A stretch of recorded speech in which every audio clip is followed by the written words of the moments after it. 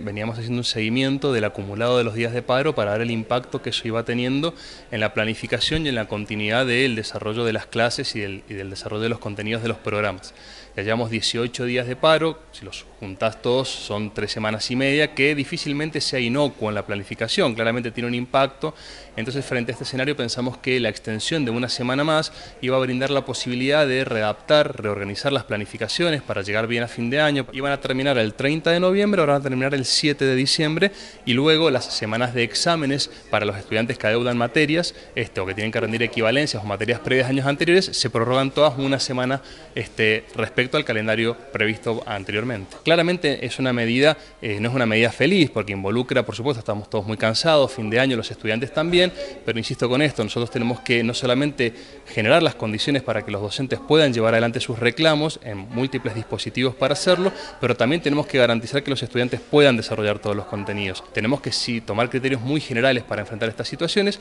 En algunos casos será mucho más aprovechada seguramente esta semana, en otros casos quizás algunos docentes consideren que no va a ser necesario, pero sin perjuicio de ello tenemos que velar por garantizar la continuidad de las clases. Nuestra voluntad sigue siendo la misma. En este sentido, insisto, nosotros tenemos que velar por dos cosas. Por un lado, generar las condiciones para que, en este caso con Agua Histórica, que es una de las federaciones que nuclean a los docentes, que es la única que no ha firmado el, acta paritaria, las demás federaciones todas la firmaron, han acordado el acta, este, visibilizar ese reclamo también de esta, de esta federación, pero también a su vez velar porque el derecho de, de los estudiantes a tener todos sus desarrollos de contenidos en tiempo y forma, digamos, sin apresurarse, sin llegar a, a, fin de año con contenidos insuficientes o apurados a última instancia, también es algo que tenemos que tratar de resolver.